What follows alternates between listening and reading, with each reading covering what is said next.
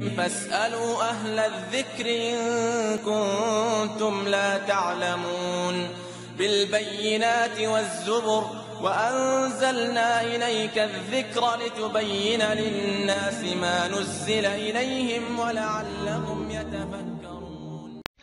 وعليكم السلام ورحمة الله وبركاته. إن الحمد لله وحده وحده والصلاة والسلام على من لا نبي بعده وعلى آله وصحبه أجمعين. ومن اتبعهم بإحسان ইলা ইয়াউমিদ্দিন আম্মা বা'দ। আহ, ভাই সাহেমউদ্দিন ইন্ডিয়া থেকে প্রশ্ন করেছেন যে তিনি ফিতরা বিষয়ে প্রশ্ন করেছেন। প্রথম তিনি প্রশ্ন করেছেন ফিতরা আমরা কি দিয়ে আদায় করব? দুই নম্বর প্রশ্ন হচ্ছে আমাদের গ্রামের মডলরা ফিতরা আদায় করে থাকে তো আমরা মডলদের কাছে দিব না নিজে নিজে ফিতরা দিয়ে দেব। আর তিন নম্বর তিনি ফিতরা বিষয়ে যে প্রশ্নটা করেছেন যে ফিতরা আসলে অরিজিনাল কাদেরকে দেব এই বিষয়টি তাহলে ফিতরা পাবে কে পাওয়ার যোগ্য কে একটি বিষয়, এবং আমরা নিজের আদায় করব না মডল দ্বারা আদায় করব। একটি বিষয়। আরেকটি বিষয় হচ্ছে যে, ফিতরা আমরা কি দিয়ে দিব? প্রথম প্রশ্ন হচ্ছে, আমরা ফিতরা কি দিয়ে দিব? সে সম্পর্কে নবী করিম সাল্লাহ আলাইহি ওয়াসাল্লামের হাদিস এসেছে, অনেকগুলি। বুখা- বুখারিতে শুধু শুধু বুখারিতে যদি খোঁজেন, তাহলে এক হাজার পাঁচশত তিন নম্বর হাদিস থেকে এক হাজার পাঁচশত বারো নম্বর হাদিস পর্যন্ত তাওহিদ প্রকাশনে আপনি অনেকগুলো হাদিস পেয়ে যাবেন। সাথে সাথে মেশকাতেও অনেকগুলি হাদিস এসেছে। মেশকাতেও আপনি খুঁজলে অনেকগুলো হাদিস পেয়ে যাবেন। মেশকাতের হাদিস নম্বর এক হাজার আটশত পনেরো থেকে নিয়ে অনেকগুলো হাদিস আপনি পড়লে পেয়ে যাবেন। তো আসলে ফিতরা ফিতরা শব্দের অর্থ হলে খাদ্যের জাকাত আর খাদ্য দিয়েই তা আদায় করতে হবে। অন্য কিছু দিয়ে নয়। যে দেশের যে প্রধান খাদ্য সেই দেশের সেই প্রধান খাদ্য দিয়েই ফিতরা আদায় করতে হবে। কারণ নবী করিম সাল্লাহ আলাইসাল্লামের জামানায় দিনার ছিল, দিরহাম ছিল, টাকার প্রচলিত ছিল, তো তখন দিনার, দিরহাম দিয়ে ফিতরা আদায় না করে খাদ্য দিয়ে আদায় করা হয়েছে। কেউ যদি টাকা দিয়ে ফিতরা আদায় করে খাদ্য দিয়ে আদায় না করে, তাহলে এটা সুন্নাতের বরখিলাপ কেননা নবী করিম সাল্লাহ সাল্লাম এবং তার সাহাবিগণ কেউই খাদ্য খাদ্য ছাড়া দিনার দিনার এবং দিরহাম দিয়ে ফিতরা আদায় করেনি, তাই সেজন্য আমাদেরকেও খাদ্য দিয়েই ফিতরা আদায় করতে হবে। এটাই হচ্ছে সুন্নাতি পদ্ধতি তার হাদিস নম্বর হচ্ছে আপনি যদি হাদিস আহ, খোলেন মেশকাতের হাদিস নম্বর এক হাজার আটশত পনেরো নম্বর হাদিস আর সৈয়াল বুখারি যদি খোলেন তাহলে পনেরোশত তিন নম্বর হাদিস আহ, মুসলিমের হাদিস নম্বর নয়শত চুয়াত্তর নম্বর হাদিস নাসাইতে দুই দুই হাজার পাঁচশত চার নম্বর হাদিস যে হাদিসটি বর্ণনা করেছেন আব্দুল ইবনে ওমর রাদিয়াল্লাহু আনহুমা আহ, قال فرض رسول الله صلى الله عليه وسلم زكاة الفطر صاع من تمر أو صاع من شعير মুসলিমের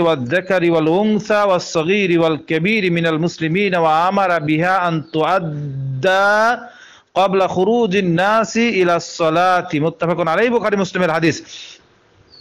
আবদুল্লাহ ইবনে ওমর রাদিয়াল্লাহু হতে বর্ণিত তিনি বলেন, রাসূল সাল্লাল্লাহু আলাইহি সাল্লাম মুসলিমদের প্রত্যেক গোলাম আজাদ, পুরুষ, নারী, ছোট, বড় সকলের জন্য এক সা খেজুর অথবা এক সা জব সদকায় ফিতের ফরজ করে দিয়েছেন। এই সদকায়ে ফিতের, ঈদুল ফিতরের সালাতে বের হওয়ার আগেই আদায় করতে হুকুম দিয়েছেন নবী করিম আলাইহি সাল্লাম।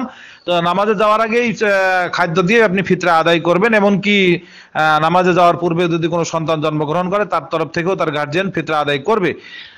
আর দ্বিতীয় নম্বর হাদিস মুহিসকাতের এক হাজার আটশত ষোলো নম্বর হাদিস যে হাদিসে আহ, কি দিয়ে আদায় করবেন আরেক টাকার স্পষ্ট হাদিস আন আবি সাইদিন আল খুদরি রাদিয়াল্লাহু আনহু قال كنا نخرج زكاة الفطر صاعا من طعام أو صاعا من شعير أو صاعا من تمر أو صاعا من عقط أو صاعا من زبيب আবু সাইদ খুদরি রাদিয়াল্লাহু তাআলা আনহুতে বর্ণিত তিনি বলেন আমরা রাসূলুল্লাহ সাল্লাল্লাহু আলাইহি সাল্লামের সময় খাবার জিনিসের একসা অথবা একসা জব, খেজুর অথবা একসা পনির অথবা একসা আঙ্গুর সদাকায়ে অর্থাৎ আঙ্গুর মানে কিসমিস সদকায়ে ফিতের আদায় করতাম। মানে খাদ্য দিয়ে আদায় করতাম।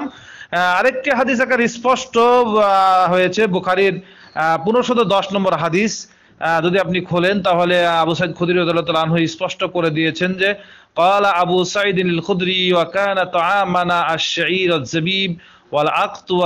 তামারু। আবু সাইদ আনহু বলছেন যে, আমাদের আমলে খাদ্য দিয়ে আমরা জাকাতুল ফিতর আদায় করতাম। কুন্না নুখরিজু জাকাতাল ফিতরি।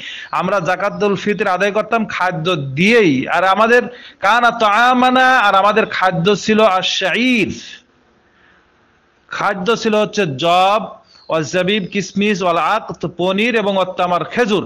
এই তিন প্রকারের খাদ্যই আমাদের জামানায় প্রচলিত ছিল। এই তিন প্রকারের খাদ্য দিয়েই, এই চার প্রকারের জব, কিসমিস, পনির এবং খেজুর, এই চার প্রকারের খাদ্য আমাদের আমলে ছিল চার প্রকারের খাদ্য দিয়ে আমরা ই মানে জাকাতুল ফিতর আদায় করতাম। তাহলে আমাদের বর্তমান জামানায় যে দেশের, যে, যে- দেশের প্রধান খাদ্য আছে, সেই দেশের প্রধান খাদ্য দিয়েই জাকাত, জাকাতুল ফিতর আদায় করতে হবে। বিশেষ করে বাংলাদেশ এবং ভারত, আমাদের এবং আপনাদের দেশ, এই দুই দেশের দুটি প্রধান খাদ্য বর্তমান চালু আছে। একটা হচ্ছে গম অথবা আটা, গমের আটা এবং তারপরে হচ্ছে চাল। গম অথবা গমের আটা এবং চাল দিয়ে আপনি ফিতরা আদায় করতে পারেন, তাই একসা পরিমাণে। একসা পরিমাণে কেজি হিসেবে আসে আড়াই কেজি পরিমাণের চাল অথবা আটা অথবা গম আপনি আদায় করে দিতে পারবেন। হ্যাঁ কেউ কেউ মনে করছেন যে ধান ধান দেবেন। ধান দিলে ফিতরা আদায় হবে না, কেননা ধান দেওয়ার সাথে সাথেই খাদ্য তৈরি করা যায় না। গম দেওয়ার সাথে সাথেই সঙ্গে সঙ্গে যাতাতে পিষে খাদ্য তৈরি করা যায় সঙ্গে সঙ্গেই। এটার জন্য সময় ব্যয় করতে হয় না এই জন্য গম ও ফিতরা দেওয়া যায় আর আটা দিলে তো আলহামদুলিল্লাহ আটা যখন তখন দেবেন তখনই তখনই খামির করে তখনই রুটি বানিয়ে তা খাদ্য তৈরি করা যায়। তার মানে খাদ্য দিয়ে আপনাকে জাকাত দিতে হবে। আবার কেউ কেউ বলেছেন রান্না করে দিতে হবে কিনা সেদিন একজন প্রশ্ন করেছেন আর রান্না করে দিতে হবে না। চাল, গম অথবা আটা দিয়ে আপনি ফিতরা আদায় করবেন। তো একশা পরিমাণ একশা পরিমাণের ওজন হচ্ছে আড়াই কেজি। এখন ফিতরা আমাদের মরলরা আদায় করে থাকে, তা মরলদের মরলদের, তারা মরলদের কাছে দেওয়া যাবে কিনা? হ্যাঁ মরলদের কাছে যদি সমাজবদ্ধ থাকেন এবং মরলরা যদি আপনার সঠিক জায়গায় বিতরণ করে, তাহলে সেই, সেখানে জাকাতুল ফেতরে দিতে হবে। কেননা, আব্দুল ইবনে ওমর রাদিয়াল্লাহু তাআলা আনহু এবং সাহাবু সাইদ খুদরি রাদিয়াল্লাহু তাআলা আনহুর পক্ষ থেকে যে হাদিসটা এসেছে, দেখা, লক্ষ্য করলে বোঝা যায় যে যে কুন্না নাখ- কুন্না নুখরিজু জাকাতাল ফিতরি। আমরা যা- আমরা রসুল সাল্লাহ সাল্লামের সময় খাবার জিনিসের একসা জাকাতুল ফিতর আদায় করতাম। এই যে নুখরিজু আমরা আদায় করতাম বা বা বের করতাম, তার মানে তারা জাকাতুল ফিতরের কাজে তারা নিযুক্ত ছিল। এই কারণে আপনার প্রধানের তরফ থেকে আদায় করা আদায় করা যায়। আর যদি মরলদের পক্ষ থেকে সেভাবে দেওয়ার ক্ষেত্রে অর্থাৎ যারা যারা পাবে সেই ক্ষেত্রে যদি কারচুপি করা হয়, তাহলে সেক্ষেত্রে আপনি নিজে নিজেও জাকাতুল ফিতর আদায় করতে পারবেন। আবার কথা শুনে রাখুন, আরেকটি হাদিস এসেছে, যদি আপনি হাদিস খোলেন, মেশকাতের হাদিস নম্বর মেশকাতের হাদিস নম্বর এক হাজার আটশত একাত্তর নম্বর হাদিস, মেশকাতের হাদিস নম্বর এক হাজার একশত এক হাজার একশত আঠা- আঠারো নম্বর হাদিস, আবারও শোনেন, মেশকাতের হাদিস নম্বর এক হাজার একশত আঠারো নম্বর হাদিস, এক হাজার এক হাজার আঠারো নম্বর হাদিস অর্থাৎ আঠারোশো আঠারো নম্বর হাদিস। যে হাদিসটি এসেছে হাদিস নম্বর ষোলোশো নয় নম্বর হাদিস, ইবনে মাজার হাদিস নম্বর আঠারোশো আঠারোশো নম্বর হাদিস। যা হাদিসটা আব্দুল ইবনে আব্বাস আনহু বর্ণনা করেছেন, ফারাদা রাসূলুল্লাহ সাল্লাল্লাহু আলাইহি ওয়াসাল্লাম যাকাত আল ফিতরি। রসুল সাল্লাল্লাহু সাল্লাম জাকাতুল ফিতর কি করেছেন? ফরজ করেছেন তুহুরা সিয়ামি তুহুরা সিয়ামি।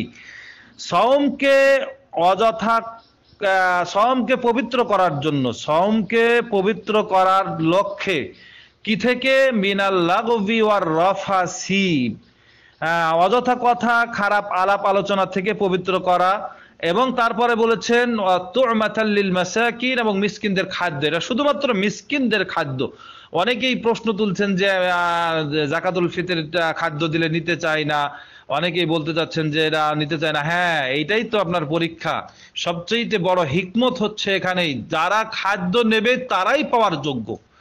যারা টাকা নিতে চাইবে তারা পাওয়ার যোগ্য নয় কথাটা মাথায় রাখবেন। তার মানে এটা বড় হিকমত খাদ্য দেওয়ার ক্ষেত্রে যে যে অরিজিনালি পাওয়ার যোগ্য অরিজিনালি প্রাপ্য ব্যক্তি শুধুমাত্র খাবার নিতে চাইবে। আর যারা প্রাপ্য নয় তারা খাবার নিতে চাইবে না। কারণ আঠারোশো আঠারো নম্বর হাদিস অর্থাৎ এক হাজার আটশত আঠারো নম্বর মেশকাতের হাদিস তা প্রমাণ করে দেয় যে জাকাতুল ফিতরে শুধু তারাই নিবে যারা তাদের খাদ্যের অভাব আছে খাদ্য নিবে।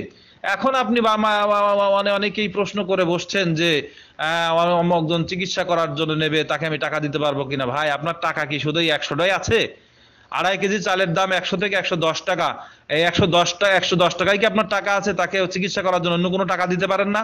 জাকাতুল ফিতির শুধুমাত্র তোয়ামুল্লিল মাসাকিন, মিসকিন তোরমাতুল্লিল মাসাকিন। মিসকিনদের খাদ্য, শুধুমাত্র মিসকিনদের খাদ্য, যারা অভাবী মিসকিন, যাদের ঘরে খাদ্য নাই, যারা খাদ্য নিতে প্রস্তুত, খাদ্য দিলেই নেবে, শুধু তারাই পাওয়ার যোগ্য, অন্য কেউ নয়। আশা করি আপনার উত্তর পেয়েছেন সাইমুদ্দিন ভাই।